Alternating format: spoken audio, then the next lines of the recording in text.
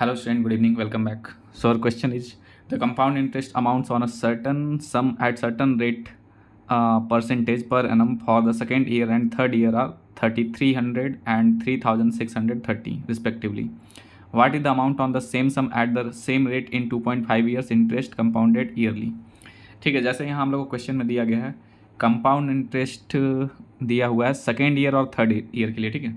C I for second year second year और third year के लिए हम लोग को दिया हुआ है कंपाउंड इंटरेस्ट तो सेकेंड ईयर के लिए कंपाउंड इंटरेस्ट अगर हम देखें तो दिया, ये दिया हुआ है thirty three hundred three thousand three hundred और ये दिया है three thousand six hundred thirty ठीक है? तो यहाँ से डायरेक्ट हम लोग क्या पता कर सकते हैं कि कितना परसेंटेज कंपाउंड इंटरेस्ट है, ठीक है? रेट क्या है सॉरी ठीक है तो यहाँ से यहाँ तक कितना इंक्रीज हुआ?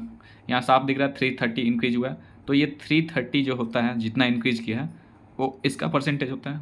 ठीक है? तो हम लोग यहाँ से डायरेक्ट निकाल सकते हैं रेट तो यहाँ हो गया हम लोग का थर्टी थ्री हंड्रेड का कितना परसेंट होता है? इंटू हंड्रेड तो यहाँ डबल ज़ीरो कैंसिल और थर्टी थ्री से टेन बार में कट गया तो ये आ जा रहा है कितना? टेन परसेंट तो ये तो हम लोग को पता चल चुका है कि कम रेट क्या है? हम लोग का रेट है टेन परसेंट रेट हम लोग को पता चल चुका है टेन परसेंट ठीक है? अब उसी तरह से अगर हम देखें तो फ़र्स्ट ईयर के लिए देखें तो फ़र्स्ट ईयर में भी क्या हुआ होगा, टेन परसेंट इंक्रीज हुआ होगा। तो इसको डायरेक्ट हम लोग ऐसे ही जान सकते हैं, ये थर्टी थ्री हंड्रेड है। थ्री हंड्रेड क्या आता है? थ्री थाउज़ेंड का टेन परसेंट होता है, ठीक है? या तो पूरा प्रोसेस से बना है पूरा प्रोसेस से ये कर सकते हैं कि एक्स का एक सौ दस परसेंट करके तो उतना करने की ज़रूरत नहीं यहाँ डायरेक्ट दिमाग से पता चल जाएगा उतना प्रैक्टिस करते करते, ठीक है? तो यहाँ से क्या दिख रहा है? सेकेंड ईयर में थर्टी थ्री हंड्रेड है तो फ़र्स्ट ईयर में क्या होगा? थ्री थाउज़ेंड क्यों थ्री थाउज़ेंड क्योंकि थ्री थाउज़ेंड का टेन परसेंट क्या होता है? थ्री हंड्रेड ठीक है? तो फ़र्स्ट ईयर का भी पता चल चुका है। अब फ़र्स्ट ईयर का पता चल चल चुका है तो प्रिंसिपल हम लोग निकाल सकते हैं। प्रिंसिपल कैसे निकालेंगे? प्रिंसिपल में अगर हम देखें तो प्रिंसिपल का टेन परसेंट, ये सब क्या निकल रहा है? ये सब जो था, ये सी आई था, ना कि अमाउंट है ये। तो ये प्रिंसिपल का टेन परसेंट, ये थ्री थाउज़ेंड होगा। तो हम लोग प्रिंसिपल का टेन परसेंट क्या होता है? वन बाई टेन प्रिंसिपल का टेन परसेंट जो है, कितने के बराबर है?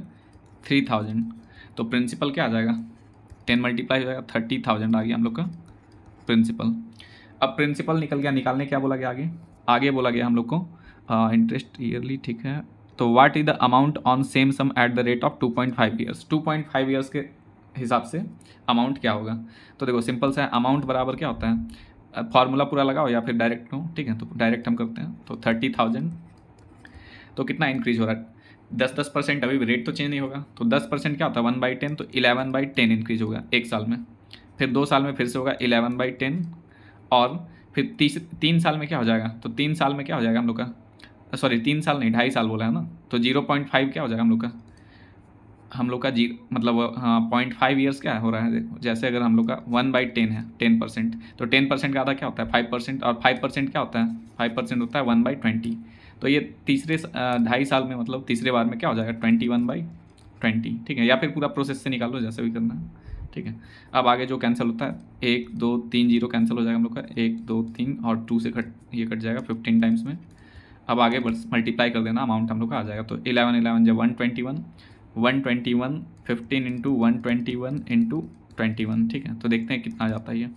तो ट्वेंटी वन वन जब ट्वेंटी वन टू बचा ट्वेंटी वन टू जब फोर्टी टू और टू फोर्टी फोर फोर बचा ट्वेंटी वन वन जब ट्वेंटी वन और four twenty five two five four one और ये फिफ्टीन से मल्टीप्लाई कर देते हैं। तो क्या जाता है? पंद्रह है, पंद्रह एक हाथ में पंद्रह चौके साठ, एक इकसठ छः हाथ में पंद्रह पचे पचहत्तर और छः इक्यासी, आठ हाथ में पंद्रह दूना तीस और आठ अड़तीस। तो क्या आ जा रहा है? Thirty eight thousand one hundred fifteen amount आ जा रहा है हम लोग का, ठीक है? Thirty eight thousand one hundred fifteen तो देखते हैं अमाउंट दिया है क्या? Thirty eight thousand one hundred fifteen बिल्कुल। ऑप्शन ये चौथा डी ऑप्शन डी ऑप्शन क्या हम लोग का? रिक्वायर्ड आंसर है। तो यहाँ से हम लोग का निकल चुका है।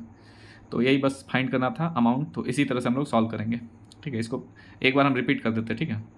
तो इसमें देखो, सबसे पहले अगर हम देखें तो सेकेंड ईयर और थर्ड ईयर का सीआई दिया हुआ था। अब सिंपल सा बात है कि थर्ड ईयर जो इंक्रीज होता है सीआई पिछले वाले पिछले वाले सीआई का जितना रेट है, उतना ही परसेंट इंक्रीज होता है, ठीक है? तो यहाँ कितना इंक्रीज हुआ? Thirty three three hundred thirty तो थ्री हंड्रेड थर्टी किसका परसेंटेज है? इसका। कितना परसेंट है? तो निकालें हम लोग हंड्रेड से मल्टीप्लाई करके तो टेन परसेंट आ गया। अब उसी तरह से यहाँ यहाँ जो सी आई होगा, इसमें टेन परसेंट इंक्रीज हुआ होगा।